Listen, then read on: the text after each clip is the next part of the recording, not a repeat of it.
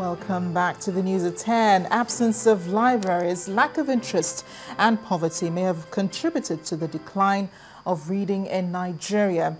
And in continuation of our series of reports highlighting the theme of the 2014 Nigerian Economic Summit, Transforming Education Through Partnerships for Global Competitiveness, our correspondent Loretta Chiogo x-rays the challenges in developing the reading culture in the country.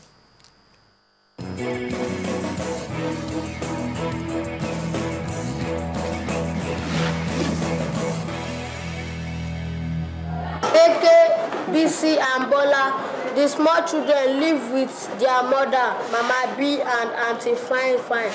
They Reading, a complex interaction between the text and the reader. It shapes the reader's prior knowledge, experiences, attitude and language, culturally and socially. The reading process requires continuous practice, development and refinement. However, in Nigeria, a study reveals that 40% of adult Nigerians never read a non-fiction book from cover to cover after they finish school. During our time, even in the primary school, we were preparing ourselves so that we will face the examinations. That culture has died because people have now gotten a cheaper way of getting at the top, and that is cheating. When we were young, you had two things to occupy your spare time. If you're not doing household chore, you had either sports or the library. But as we began to put emphasis on material acquisition and material mesmerism, boys were dropping out of school and not to talk of girls. The social media were not there before when people developed the habit of, you know, um, not actually wanting to read. It could be that sometimes they don't actually like the material, and sometimes maybe the scholars that write these materials have not injected some intellectual things into them for them to be interesting enough for people to read. Nigeria's population is predominantly youth. The Federal Ministry of Youth Development, in a 2008 report, said young people under 35 years account for about 50% of the country's over 140 million people. The number of children from this figure with poor reading skills are known to receive poor grades at school. Now, if you have a, a country in which the education of the youth is neglected, by as symbolized by the absence of reading, then the country, the society is doomed. Perhaps the Nigerian Economic Summit Group's focus this year, which seeks to rebuild, revamp, and reinforce the education sector for the nation's future, is geared towards building the intellectual fabric of the Nigerian society. But if the issue of inadequate library facility, poor access to books, high cost of the books and other reading materials, and most of all, the lack of interest in reading are not taken care of. Reading culture in Nigeria may continue to nosedive. Loretta Chiogo, Channels Television News.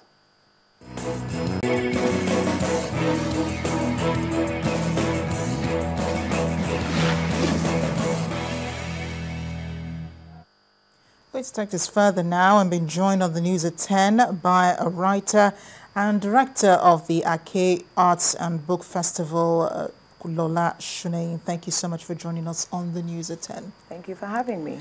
Well, I remember before, I mean, while the report was going on and before, you know, we started the news, there was, we're talking about the problem really is not reading. It's, well, the problem is reading though, but the major problem is what people are reading and the value of what they're reading and what impact it's having on their lives, right? I think that is a, an issue. People tend to think that just uh, by reading textbooks um, or reading textbooks is, up, is, is enough. Mm. It's all you need, and that's all the reading that you require for your personal development. But of course, it's much more than that. Um, people should read good fiction which is um, which will help them travel in their minds, will um, encourage them to go places. I mean, this is all part of um, a child's development. Yeah, but so. going places in your mind, how does that impact on your education? I'm just saying because yes, you're reading fictitious books. It sounds more like you're reading for pleasure. Well, let's if, if since we're talking about education, we have to uh, first look at um, how if people can actually read. And I think this is very important because there is a big difference between studying and actually reading. Mm. Um, and the, the, in, in the first place, people really, a lot of Nigerians, the reasons why they don't do well in their exams is the fact that they can't read. And when you can't read, you can't interpret questions. When you can't read, there's so many doors that are just shut to you mm. on, a, on a daily basis as you are, you know, kind of going through life. Well, it's very easy to point out what the problem is, but how do we inspire, well, how do you inspire people to read? I understand that it, it also has to do with the teachers. I mean, if you don't have quality teachers, I mean, you're not even halfway towards solving the problem. You're absolutely right. Um, how much training do our teachers have? Do they have adequate training? Um, how much training are they getting even while they're on the job? You know, these are very important factors um, that you, you, it's very, you can't talk about reading and not talk about um, teaching, the process of education. They, they, they go hand in hand. Hmm. I'd like to talk further on this, but I guess we have to go. Thank you so much for joining us on the News at 10. Uh, Lola is a writer and also a director of the Ake Arts and Book Festival. As she was discussing education in relation to reading. Next on the news at 10, uh, CAPPLC, makers of Dulux paints, uh, have unveiled their official color of the year 2014. At the unveiling ceremony in Lagos, the company also revealed the new packaging of their products, which is centered on unlocking various potentials. In the boundless ocean of the mind, where we are right now, then you will unlock your potential.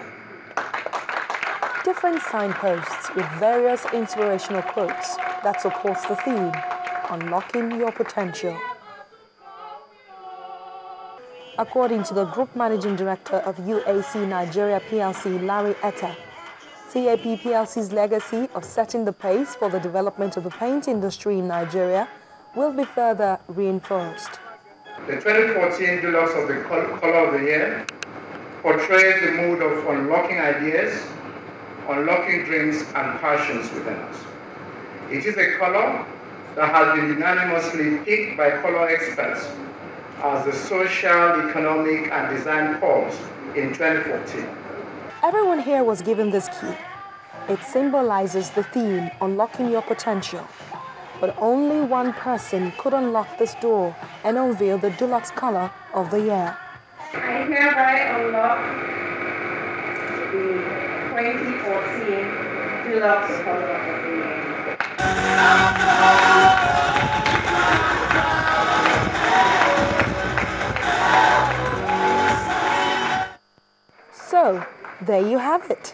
Teal is the official Dulux color for 2014.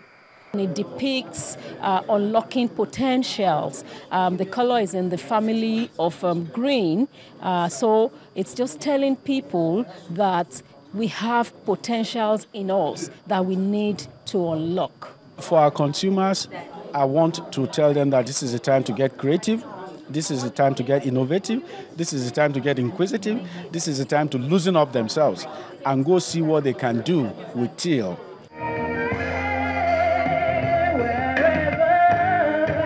Musician Ego entertained guests with good music and keeping up with the significance of the event, she helped some to unlock their singing potentials.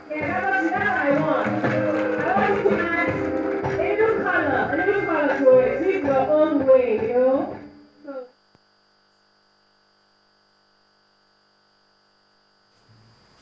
Well, that takes us to business proper with Adeshawa Josh. First Bank, truly the first.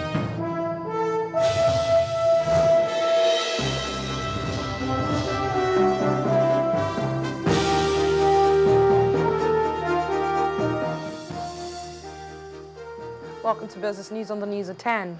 The Naira firmed to 164 Naira 70 kobo to the dollar today at the interbank market. And this follows Friday's close of 164 Naira 90 kobo in spite of the ongoing tapering by the U.S. Federal Reserve. However, dealers expect the local currency's volatility to resume this week as offshore investors may exit the local bond market to repatriate funds abroad. The Naira has been trading within the 164-165 Naira band against the greenback over the past two weeks, supported by the central bank's interventions and dollar sales by some oil firms. Now, a clean Lagos is the responsibility of both the state government and the residents. This message is coming from members of staff of Sterling Bank, the one customer bank, as they took time to clean Oshodi, a basic commercial area of the Lagos metropolis. The volunteers also made out time to educate residents on proper waste management and methods that engenders a healthy lifestyle. Oshodi in Lagos State, southwest Nigeria, is known for huge commercial activities. Until the intervention of the state government several years ago, it was a very dirty environment. Don't mistake these uniformed men and women for LAWMA officials. They are employees from the one customer bank, Sterling Bank.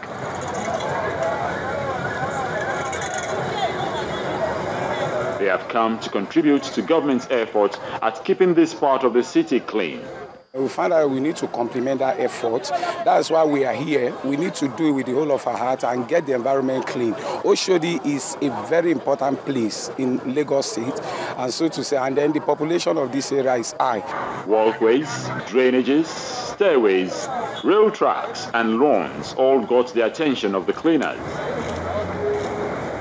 You know, I'm just trying to contribute my own quota as a Sterling Bank staff. I pass here almost every time, and I think it would be a pleasure to come out here to come and clean. They also want members of the public to remember the need for a clean environment. If you watch around the environment, you you will see that some person's job does dustbins anyhow and all that. That's why we came to help them clean up the environment and equally enlighten them on how to keep the environment clean. Because when your environment is clean, you have a good health. So whatever we are doing, wherever we are, we should try to make that place to be neat. Apart from this social work, Sterling Bank has always partnered the Lagos State government in the drive for a clean and healthy environment. Henry Ogunjimi, Channels Television News. And now let's take you to the Nigerian stock market where the market closed and the trading ended in the negative territory, sustaining the bearish trend from previous sessions. The all-share index now stands at below the 38,000 psychological line. Loretta Chiogo tells us more.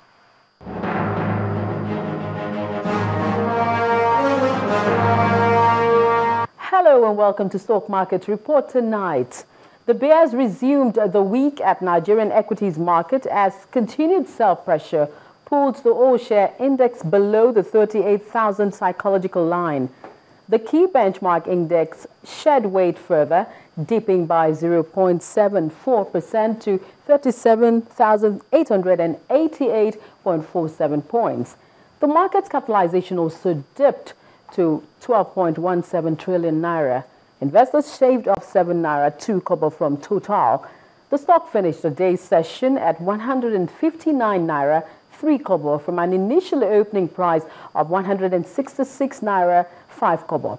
Other value laggards include Forte Oil and Unilever. Now, Flour Mills of Nigeria added 1 naira 95 kobo, that's 2.57% to lead other gainers. For the first trading day of the week, Diamond Bank, FBN Holdings, and Transcorp were the three top active stocks.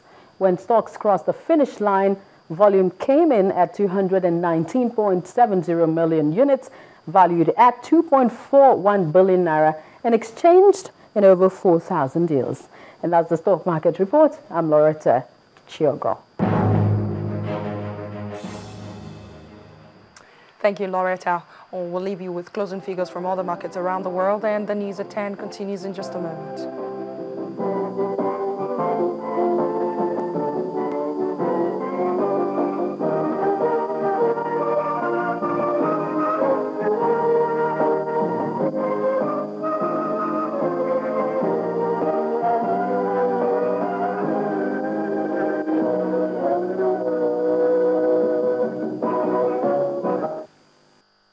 First Bank, truly the first. Still ahead of the news at 10, Nigeria's female under-17 team, the Flamingos, start their campaign at the FIFA World Cup on a winning note. That's in sports news. Just stay with us.